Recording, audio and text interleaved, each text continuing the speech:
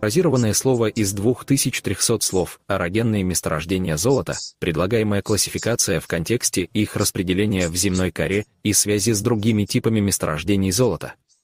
С сайта krdimer.edu давайте послушаем.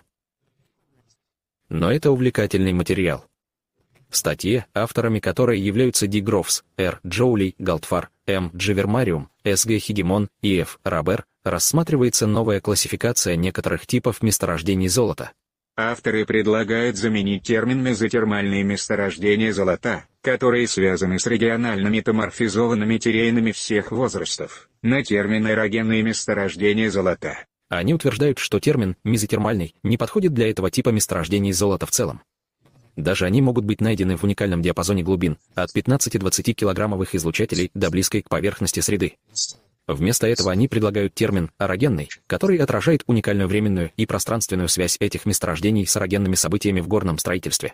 Далее они предлагают разделить эти эрогенные месторождения на три категории в зависимости от глубины их формирования. Минус 6, гипозональные больше 12.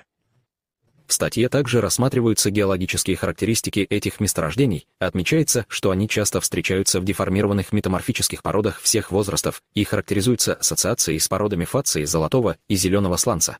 Эти месторождения рангинового золота демонстрируют сильный структурный контроль в различных масштабах и, как правило, расположены вблизи крупномасштабных структур сжатия. Для них также характерна сильная латеральная зональность фаз альтерации от проксимальных до дистальных скоплений в метровом масштабе. Наконец, автор предполагает, что эти мезотермальные или, скорее, орогенные месторождения золота были сформированы в ходе деформационных процессов на сходящихся краях плит, независимо от того, где они расположены, в архейских или протерозойских зеленокаменных поясах или в протерозойских и фанерозойских толщах осадочных пород.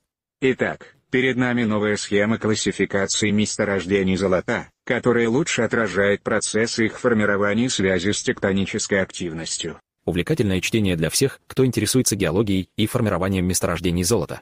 На сегодня это все.